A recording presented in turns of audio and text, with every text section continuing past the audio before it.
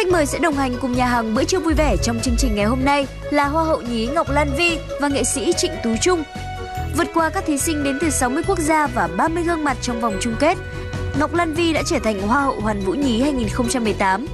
Lan Vi cũng là người châu Á đầu tiên nói chung và người Việt Nam nói riêng được đội chiếc vương miện danh giá này.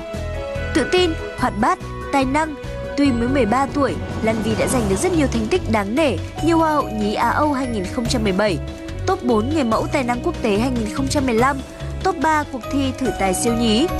Chuyên nghiệp trên sân khấu, nhưng ngoài đời Vi vẫn chỉ là một cô bé 13 tuổi, năng động, dễ gần và rất yêu mến nhà hàng bữa trưa vui vẻ. Luôn đồng hành với Lan Vi là nghệ sĩ Trịnh Tú Trung. Anh được công chúng biết đến thông qua hình ảnh một diễn viên và stylist tài năng. Trong những năm qua, anh tạo được ấn tượng mạnh mẽ khi là giám đốc quốc gia đầu tiên đưa trẻ em ra đấu trường thế giới. Anh cũng từng nhận được nhiều giải thưởng trên thế giới liên quan đến trẻ em như nghệ sĩ được thiếu nhi yêu thích nhất hay nghệ sĩ có sức ảnh hưởng với thiếu nhi nhất.